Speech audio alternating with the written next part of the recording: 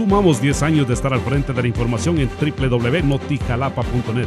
Gracias a ustedes seguimos creciendo, aprendiendo y mejorando, aunque a los del poder no les agrade.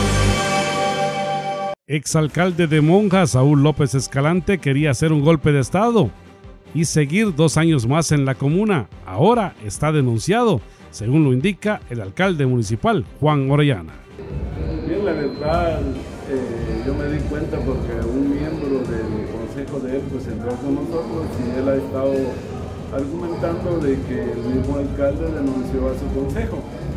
Es una verdad esa y la verdad es que solo en la guía de toma de posesión el día que, que nos entregó eh, la ley tiene estipulado la forma como llenar la guía él pues estaba esperanzado que iba a haber un golpe de Estado y dijo que iba a seguir por dos años. No llenó la guía, cometió nueve delitos en la guía, por lo cual esos, esas denuncias ya están puestas en el Ministerio Público de la Contraloría.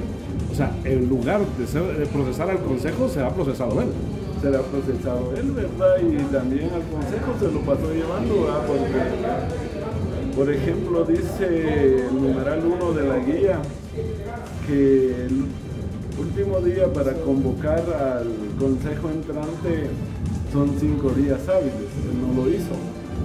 La forma de llenar la guía se dice que tiene que ser del auditor interno o en casos fortuitos, ¿verdad? O enfermedades o otra índole. Si el auditor no podía estar, tendría que ser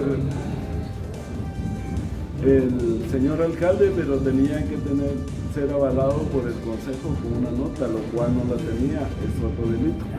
Si nos damos cuenta, solo en el último día cometió nueve delitos y se pasó llevando el consejo, por lo cual esas denuncias ya están puestas, ¿verdad? Porque la misma ley lo